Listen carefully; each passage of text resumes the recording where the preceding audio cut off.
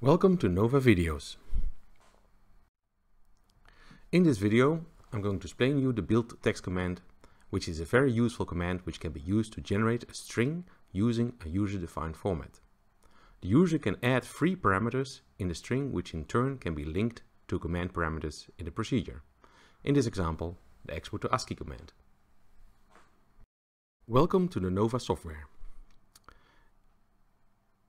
In this video, the initial procedure will be modified in order to export every single cyclic voltammogram to a unique ASCII file.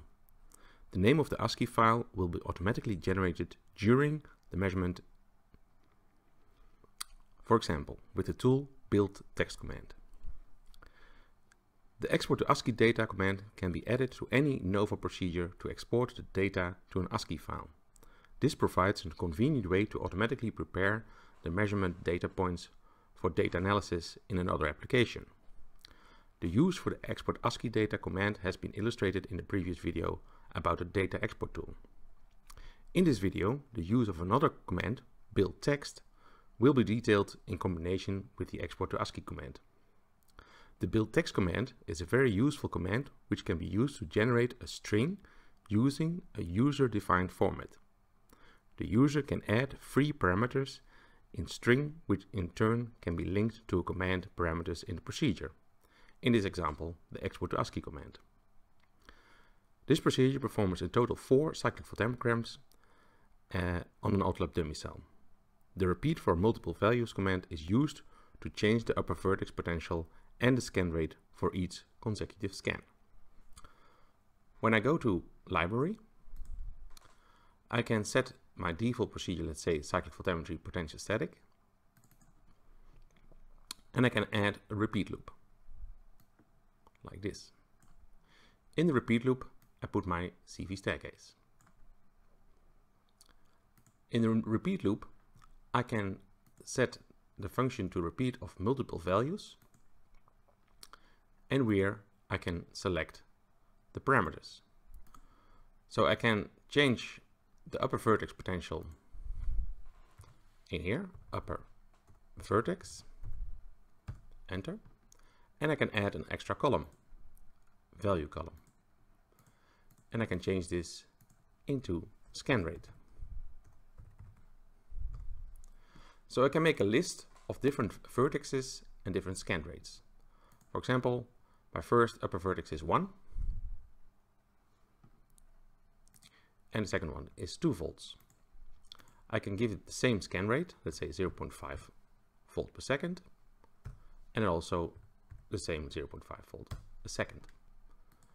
The next upper vertex range, 1 and 2, I can change to a different scan rate, let's say 1 volt a second. So here I've created multiple uh, repeat loops with different values of the upper vertex and the scan rate. I can link these values to my CV staircase, press hold the control key and both commands will be green uh, unlined and you'll see you could create a link to the upper vertex and the upper vertex of the CV and the scan rate of the scan rate of the CV. This is how I link it.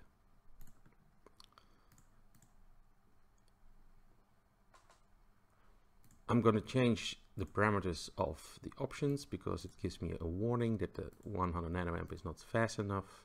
Now the warning is gone. What I can do now is to, um, if you want to export each individual repeats to an ASCII file, I can give it a specific name. This specific name can be built by the build text command. Well, the build text command is in the control group. I can drag and drop it in here. The only thing I have to do, I have to give it a format. Well, I'm going to store it under C data file. And now I'm going to uh, give it a name.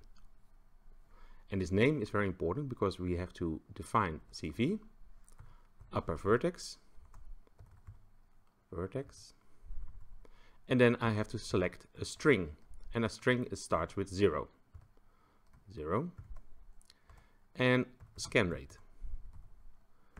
Again with the string, because I'm going to uh, repeat with different upper vertex potentials and scan rates. And the last string I will call 1. So now I've defined the name of the files in my data uh, port. And what I can do now, I can link these values of the CV staircase to the build text command. Again, selecting both icons and uh, on the zero string I will have the upper vertex and on the one string I will have my scan rate. So here I've defined my build text. With this build text I can link to the export to ASCII file. Export to ASCII data is in the data handling group. We can drag it after the, come on, yep, like this.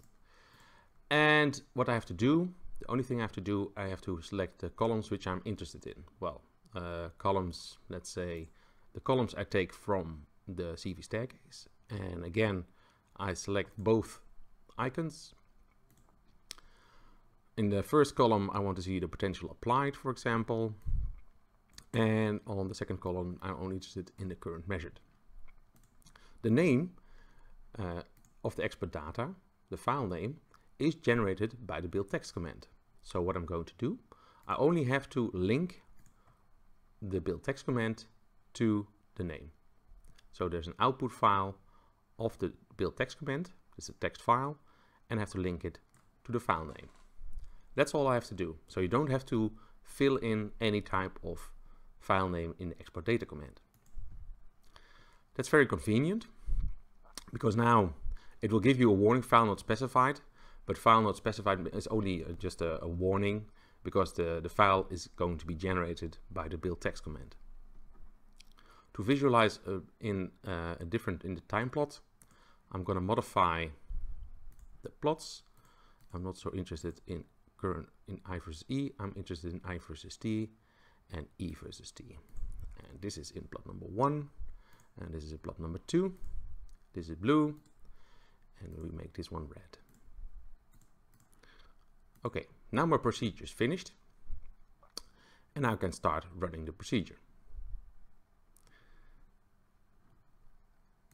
At the moment, I have in my uh, C drive, I have a data, and at my this data folder is empty at the moment. But the moment I start to the procedure, it will run an experiment with um, different upper vertices and different scan rates. And this way we can see and automatically store data with different file names. And that is very nice for bookkeeping and convenient for uh, long-term measurements, for example.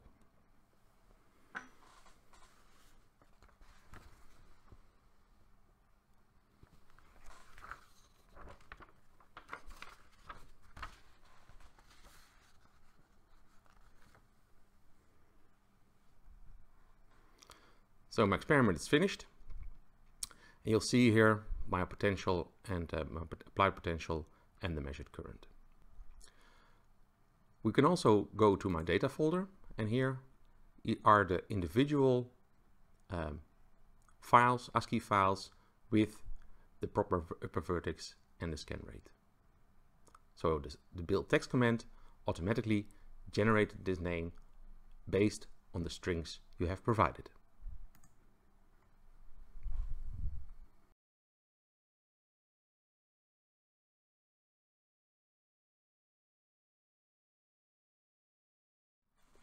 Thank you for watching Nova videos. If you found this Nova video helpful, like and share with your colleagues. Please subscribe to the Metrohm Autolab YouTube channel so you are notified when new videos are available.